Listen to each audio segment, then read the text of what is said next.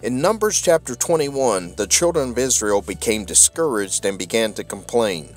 They spoke against Moses and the Lord. So God sent fiery serpents among them that bit them, and many of them died. The people then admitted their sin and asked Moses to plead for them with God to take away the deadly snakes. Numbers 21 8 and 9 says, And the Lord said unto Moses, Make thee a fiery serpent, and set it upon a pole. And it shall come to pass that every one that is bitten, when he looketh upon it, shall live. And Moses made a serpent of brass, and put it upon a pole.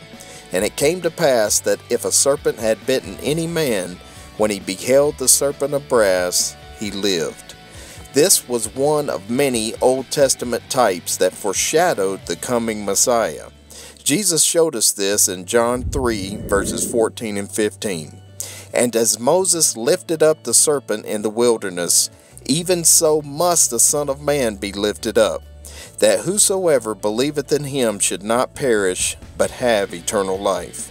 Just as the brazen serpent represented the curse, Jesus became a curse for us. He alone is the only way for man to be saved. Look to Jesus and live.